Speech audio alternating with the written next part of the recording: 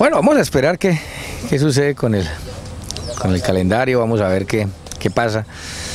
Ese es un tema pues que no compete directamente la decisión a nosotros, sino es algo de la, de la I mayor. Esperemos a ver qué, qué sucede y, cómo inicia esta liga 2016 primer semestre. Enlace Noticias dialogó con el profesor Oscar Upegui sobre la temporada 2016 del rentado profesional del fútbol colombiano Liga Águila. La verdad bastante, bastante preocupado porque no tenemos el estadio, no tenemos cancha para entrenar, cancha, una cancha acorde a, a la competencia que vamos a tener. Yo lo he dicho, vuelvo y lo repito, yo le agradezco mucho, el club le agradece mucho al Inderva el hecho de que nos haya prestado esta cancha de Contraeco al contratista.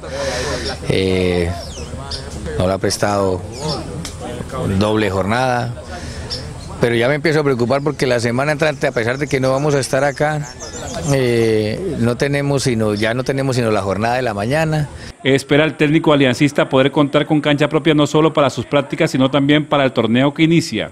Eh, ni Oscar Upegui, ni el grupo de jugadores, ni el cuerpo técnico se puede quedar en, en que nos quejamos y nos quejamos y, en la quejadera, no, no, obviamente nosotros nos preparamos para, para tratar de dar lo mejor y tratar de vencer las dificultades que, que se nos pueda presentar. Esta gran dificultad que tenemos en este momento, no tener la cancha, no tener el terreno de juego eh, para, para poder entrenar, es complicada, pero, pero igual tenemos que seguir. De acuerdo con el profesor Upegui, varias son las molestias que ya presentan algunos jugadores por las prácticas en grama sintética.